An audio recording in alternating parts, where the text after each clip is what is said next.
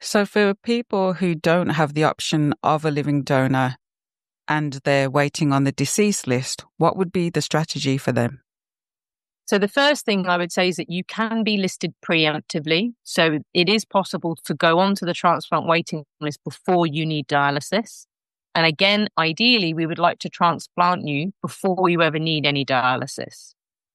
That said, it's always important to prepare for dialysis. And if you're in a position to, if you're going for PD, for example, you need your PD catheter fitted so that you're not waiting a long time needing dialysis without being able to have it. Or you need temporary dialysis via a line whilst we're getting your PD in.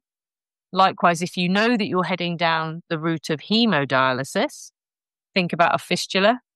We like fistulas, we're not massive fans of lines you get better dialysis, but also it means that you're not going to enc- hopefully encounter problems with scarring and other issues, line related issues that we potentially have to think about much, much, much later in your life. It may not be a problem right now, but potentially lines can cause problems in the future.